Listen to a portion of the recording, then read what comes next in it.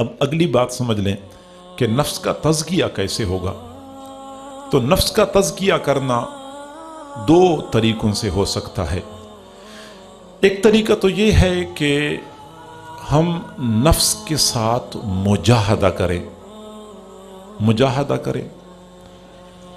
नफसानी ख्वाहिशात की पैरवी न करें। इसको रगड़ा लगाएँ। इस पर इबादत का बोझ डालें। ये चाहे या न चाहे, इसके ऊपर ज़्यादा आमाल का बोझ डालें, ये खुद ब खुद सीधा हो जाएगा। वल मुजाहिदो मन जाहद नफसहू फ़ी ताअतिल्ला असल मुजाहिद वो होता है जो अपने नफ्स के साथ मुजाहदा कर ले अल्लाह ताला की इताअत में। अल्लाह ताला की इताअत में इसको पामाल करे और इसको मजबूर करे। एक अल्लाह वाले फरमाया करते थे कि अपने नफ्स को बहला फिसला कर इससे काम लिया करो।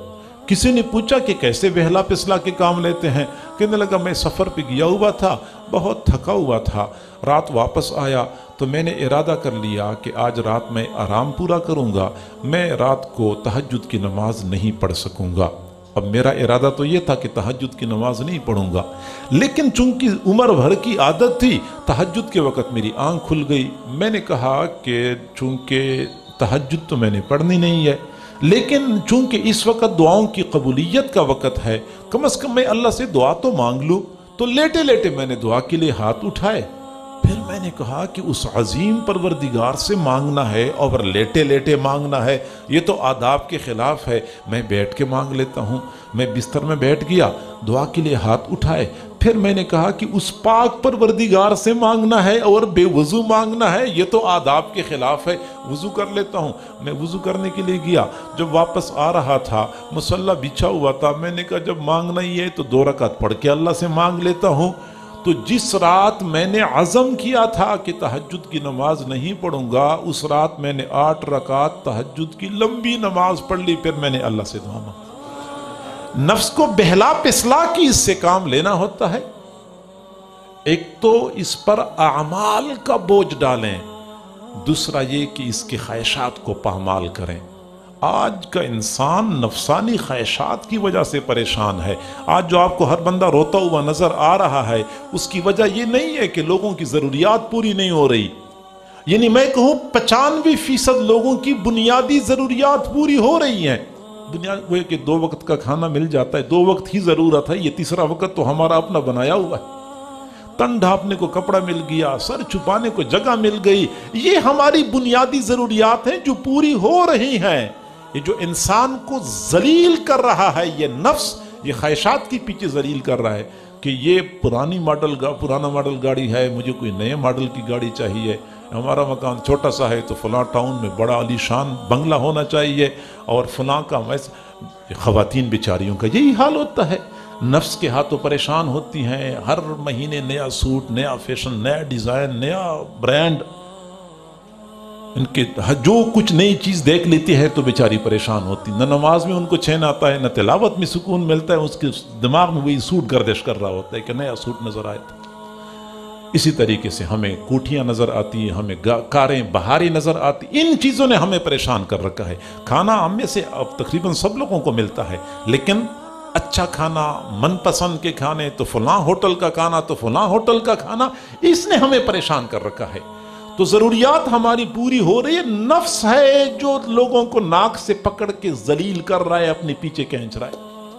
इसकी ख्वाहिशात को लगाम डालने की ज़रूरत है। जिस बंदे ने इस नफ्स को काबू कर लिया, उसने ज़िंदगी का सुकून पा लिया। और जो नफसानी ख्वाहिशात के पीछे पड़ गया तो जलील होता रहेगा और इसकी ख्वाहिशात कभी पूरी नहीं होंगी।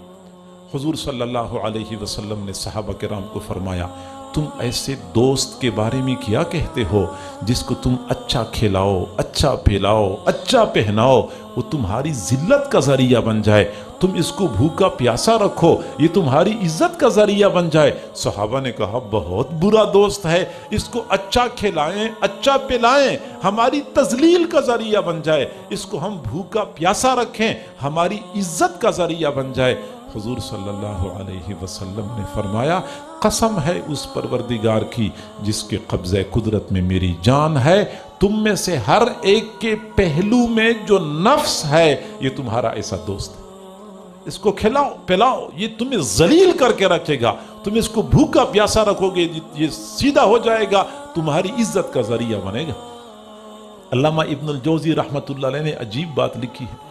फरमाते हैं कि अल्लाह ताला ने जब इंसानी नफ्स को पैदा किया तो नफ्स इंसानी से पूछा, मन अंत व मन अना? तू कौन और मैं कौन? तो नफ्स ने जवाब दिया, अंत अंत व अना अना? तू तू है और मैं मैं हूँ। मेरी अपनी हैसियत है, मेरा अपना मकाम है। अल्लाह ताला को गुस्सा आया, फरिश्तों को हुक्म दिया कि इसको जहन्नम में फेंक दो। जहन्नम में फेंक दिया गया और एक हज़ार साल तक जहन्नम की आग में जलता रहा। निकाला पूछा, मन अंत व मन अना, तू कौन और मैं कौन? उसने कहा, अंत अंत व अना व अना, तू तू है और मैं मैं हूँ, मेरी अपनी शान, मेरा अपना मर्तबा, अपना मकाम है। अल्लाह को फिर गुस्सा आया, फरिश्तों को हुक्म दिया कि इसको जमहरीर वादी में बर्फ़ की तहों के अंदर डाल दो, जहाँ खूब ठंडक होगी, जहन्नम में एक वादी जमहरीर की। चुनाचे नफ्स को डाल दिया गया। अब एक हज़ार साल तक जमहरीर वादी में पड़ा रहा। फिर अल्लाह ताला ने निकलवाया, पूछा, मन अंत व मन अना, तू कौन? मैं कौन? उसने कहा, अंत अंत व अना अना तो तू है और मैं मैं हूँ। फिर अल्लाह रब्बुल इज़्ज़त ने अपनी कुदरत से उसको भूख लगाई। जब भूख मुसलत हुई, बिलबिला उठा तो अल्लाह ने पूछा, मन अंत व मन अना? तो नफ्स कहने लगा कि, अंत रब्बी व अना अब्दुक, तू मेरा रब है, मैं तेरा बंदा तू मेरा रब है, मैं तेरा। ये जो इसको भूख लगी, इसकी ख्वाहिश को पामाल किया, बिलबिला उठा तो सीधा हो गया। तो ख्वाहिशात को पामाल करने की ज़रूरत है।